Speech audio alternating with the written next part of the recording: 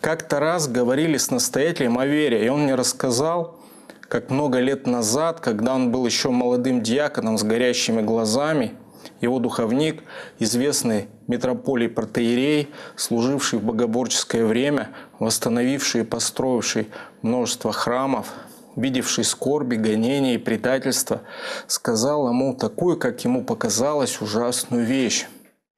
«Иногда бывает, — сказал он, — что какой-то человек рядом с тобой будет гибнуть, а ты ему ничем помочь не сможешь.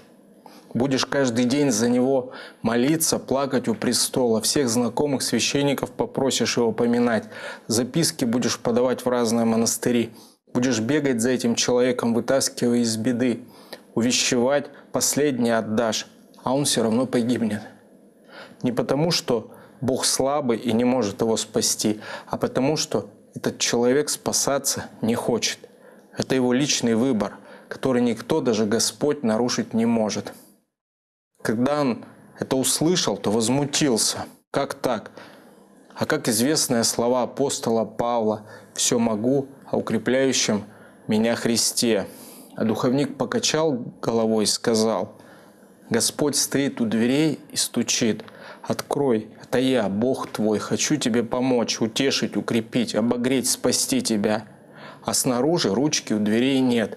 Ее можно только изнутри открыть. И каждый решает, пускать к себе Христа или нет. Такие дела.